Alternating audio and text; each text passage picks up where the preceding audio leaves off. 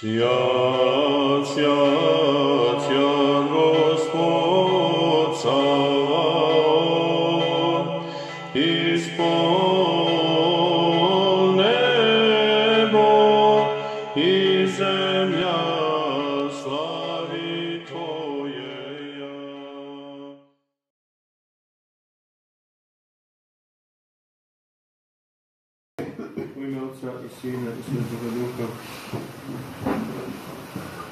Kako su veličanstvene djela Tvoje Gospode, sve si premudrošću stvorio. Čitamo svaki dan u 103. psalmu, u početku večanja. Čitamo inače, dakle, kad psalke čitamo svojim domovima, svojim kelijama, svojim sobama, kad se Bogu molimo. I ono što čitamo, to i vjerujemo, zaista Bog sve premudrošću stvori i sve veličanstveno što Bog stvori. I ova zemlja i sve biljke, sve životinje i čovjek kao kruna stvaranja. A vrlo često smo skloni da pomislimo da i nije veličanstveno, nego da je tragično i da je strašno. Zaista i jeste i tako. Veličanstveno je bilo do onoga trenutka kada čovjek grijehom svojim i prestupom svojim ne uvede đavola u svijet, ne uvede smrt u svijet, ne uvede trulež u svijet i ne uvede tu strašnu tragediju. No Bog nije sadista koji čovjeka ostavlja, truleži propadanje smrti, nego čovjekoljubivi otac i zaista ne bi za ništa bilo nego jedno strašno gubilište i strašno stratište i ogromno groblje, gdje čovjek dolazi tu nešto proživi, a ga poslije više nema. Nego je Bog čovjeka stvorio za život vječni to i svi znamo i osjećamo i želimo da živimo. I pored toga, svako od nas ima tu misla da bi želio i da bi volio doći duboku starost. I plaši se smrti, plaši se te neizvjesnosti smrti, što je logično, što je normalno, jer to pokazuje da nije Bog stvorio čovjeka za smrt i za propadanje i za trulež, nego da ga je stvorio za život. Iako taj život provodimo vrlo nemarno, ne mareći zapovjestima gospodinu, ne mareći u stvari vječnom životu, nego gledajući ovdje po sebe i uživajući ono što možemo, čemu možemo da uživamo, makar kako to bilo. A gospod došao u svijet da čovjeka svega toga izbavi, da ga spase, da mu daruje život vječni i nije ni časa časio te svoje kratke 33 godine zemnog života.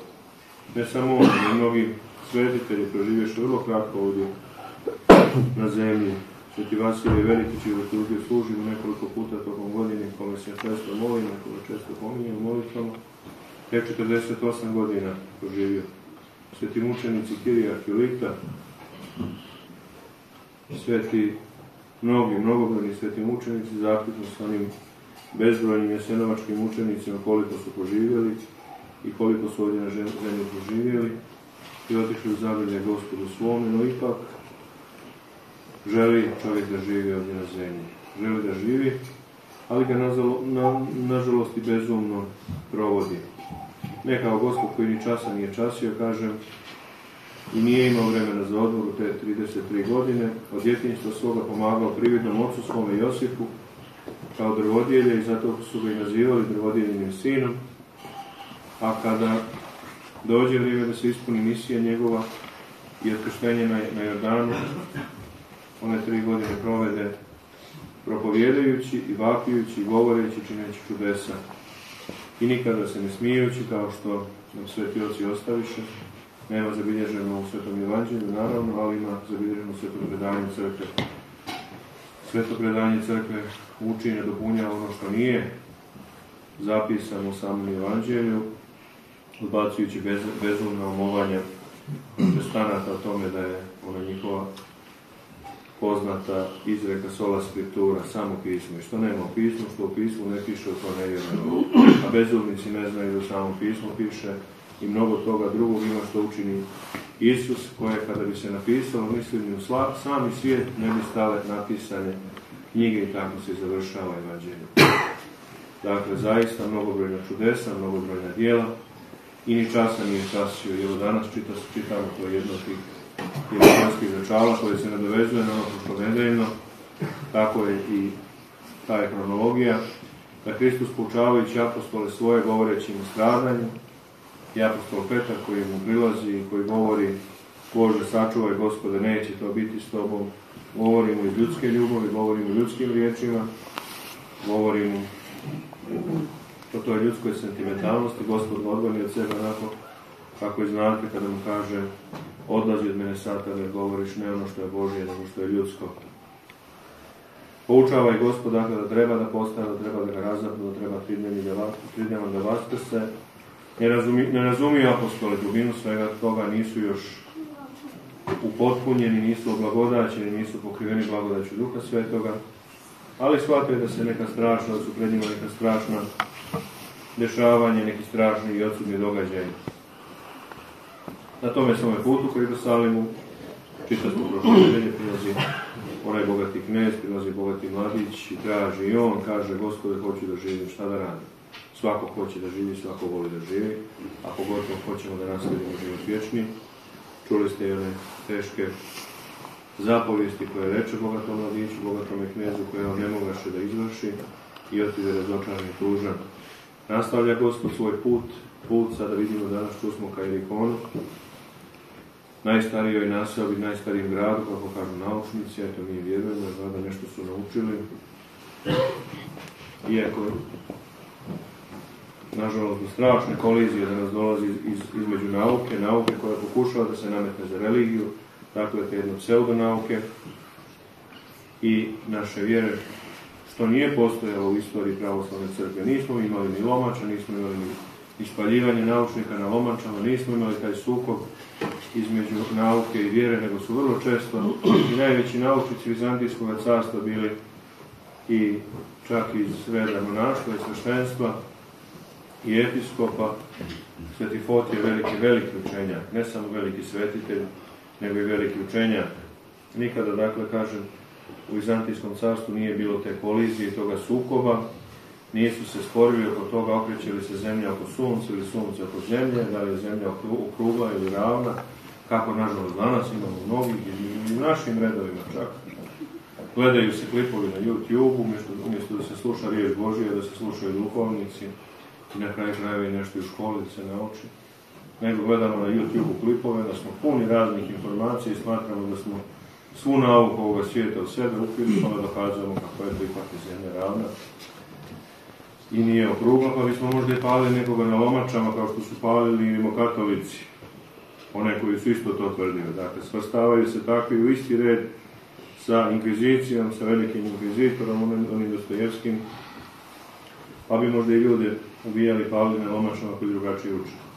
No, to je jedna druga tema, možda za jedan drugi razgovor, drugu besjedu, a kažem, mi ipak naučnicima vjerujemo koji su izmjerili da je Jerikon ta najstarija naselbina, utvrđeni grad na zemlji i ne samo to, nego specifičan i po tome da se nalazi u depresiji, da nas nema, dakle nema nadmorske visine za grad Jerikon, ima podmorska visina, kažu 258 metara ispod razine mora i tu se to čovjek nastanio i tu čovjek boravio, ali taj Jerikon, kao što znamo iz drugih priča evanđelskih, simboli toga pada čovjekovog ovdje na zemlju, u jednu ruku pada, otpadanja Božje blagodati, otpadanja blagodati Duha Svetog i pada, dakle, najstarija nasadina, dakle, zamislite, najstariji grad, jedna rupa ovdje na zemlji, skoro 300 metara ispod razine mora. Odatle kreće gospod. Gdje kreće? Kreće u Jerusalim koji se nalazi na brežuljku, koji se nalazi na brdu, dakle uspinje se, gospod i odlazi na stradanje da bi se iz te irikonske rupe uspeo u Jerusalimu na krst da bi na krstu proširio ruku i da bi sve nas prigledali i sve nas spasao. Umeđu vremenu ne gubi vrijeme i ne šeta samo i ne provodi vrijeme u dokolici, razbibrizi i u nekim praznim razgovorima kao što vrlo često mi ljudi. I sve više toga, dakle, životi su na sve više puni dokolice, razbibrige, razonode, stara riječ koja se koristi još uvijek u južnoj Srbiji, onoditi, znači nešto raditi, biti nečemu, nečemu koristan, a mi smo danas uglavnom posvećeni razonodi bez besposlenosti, da se nečim onako zanimamo, da nešto e, znatiželjno posmatramo i da ništa ne radimo korisno ni Bogu ni ljudima, pa nam sve više i više toga vremena oduzima i ovi smartfoni i laptopovi i neslični internet i mnogobrojne vijesti koje su najčešće vijesti iz nesvijesti i tako nas u nesvijesti bacaju i obesvješćuju nas i ne znamo ni ko smo, ni kuda idemo. A Gospod nije provodio vrijeme u razvidrizi, u dokolici, nego hodeći, dakle, iz te ruke Ilikonske, pa u zemaljskom, iz zemaljskog Jerusalima u Višnji Jerusalim, neprestano čini čudesa i neprestano pomaže ljudima, kao što i činio, pogotovo te tri godine posljednje života svoga i prije, kao što znamo, još od rođenja svoga i odlaska u Egipat i sve ono što je opet u predanju zapisano, što Sveta crkva uči, što mi nepokoledivo vjerujemo i trudimo se da vjerujemo i ništa što crkva povijeda, da ne sumnjamo i da ne odbacujemo ni najmanju jot, ni najmanje slovce, ni najmanju zapetu i učenja. I čujete, dakle, pred Jerihonskim gradom onaj nesrećni slijepac koji ne može ništa da radi, nego samo da prosi. Nema on ni razbibrige, nema on ni razonode, nego samo pruža on svoju ruku, usahu svoju, okreće usakle oči i usta svoje, tu traži milost od ljudi, a onda čuje da se nešto dešava, da je neki žamor, da je neki žagon, da je ogromna gomila ljudi, odnosno svjetina, taj ohos, kako se na grčkom jeziku kaže. Dakle, ne jedna prijatna grupa tako finih, fine gospode i finih ljudi, nego ogromno mnoštvo ljudi, gospoda i učenika njegovih, i mnogo ludih, i slijepih, i bolesnih, i gubavih, koji idu za gospodom, žamor i graja toga čudnog skupa koji se oko gospoda okupi. Kao i danas. Nema mnogo mudrih ni mnogo plemenih naroda, kao što kaže apostol, da dolazimo mi i ono što, što ljudi prezreše i ono što svijet prezre, mi pritičemo gospodu, dolazimo gospodu, tražimo njega. Isto ono što su podaj kada ljudi tražili, isceljenje svojim nemoćima i bolestima i strastima, da nas spasi, da nas izbavi od grijeha i da nam da da živimo. Jer nam se hoće živjeti, jer hoćemo živjeti vječno. Takva, dakle, povorka dolazi prema gradu Jerihonu, a slijepac saznavši šta se dešava, čuvši ko dolazi i on počinje da vapi, Isus je sin Davida, pomiluj me. Oni koji iđahu na početku te, čuli ste, na početku te povorke, učutkuju ga, govore mu da, da ne viče, kao što sam malo prije ja u dječicu učutkivao, jer ipak treba da znamo i vi roditelji da znate da vodite računa djeci svoje i da djeca treba da se osjećaju u crkvi kao u domu oca svoga i to je lijepo da se djeca osjećaju, osjećaju prijatno kao što se osjećaju u domu vašem, tako da se osjećaju u domu ovome, ali i u domu treba da se živi po pravilima i da se zna ni u domu ličnom ni u domu očevom, dakle nećemo praviti nered, nego ćemo da se trudimo da živimo da se ponašamo blagočestivo i od najranijega doba djecu tome da učimo. Mi da pokazujemo svojim primjerom da nam nije dosadno pred gospodom, da nam nije dosadno u hramu njegovom, nego da se Bogu molimo, a to mi djecu da učimo, dakle da ne bi djeca u hramu je stvarala nered, nego od najranijeg doba svoga, čim razum, čim razum priđu, čim razum uđe u njihove umove, da i oni budu svjesni da su ušli u dom očev i da ocu, u domu očevom treba ocu i da se mole. No, kažem, dakle, graja velika i počinje da viče i jelikonski slijepac i doziva gospoda, iako ga učutkuju, on još više viče, Isuse, sine Davida, pomiluj me. Naravno, onaj koji viče ka sinu Davidovom, koji viče ka gospodu, neće ga gospod ostaviti, neće ga gospod prezreti i neće ga gospod propustiti, proći kraj njega, nego prilazi gospod, služi svome, ne činite tako neko čudo. Pita ga neki, da vidi šta mu treba, ako gospod zna. Ali zbog svjedočanstva onima koji su po njega, šta hoćeš da ti učinim, da progledam gospode. Dakle, ne trebaju slijepci, slijepcu ni bogatstva, ni novci, ni carski presto, ništa on ne traži. Nije tražio da postane car. Dao bi mu gospod onako slijep postane car ali slijepcu treba da progleda, kao što i nama slijepcima treba da progledamo i to tražite, braći i sestri, od gospoda. Ne tražimo ovo zemaljskih blaga, ne tražimo ovo zemaljskoga dobra, nego da progledamo i da vidimo gospoda, da bismo onda kao i ovaj ikonski slijepac pošli za njim i proslavljali ga, a narod oko nas, zbog nas hvali gospoda, ne da hvali nas, ne daj Bože, zbog naše pobožnosti, zbog naših podbiga, nego zbog našega života u Hristu i narodu kod nas da, da pohvali gospoda.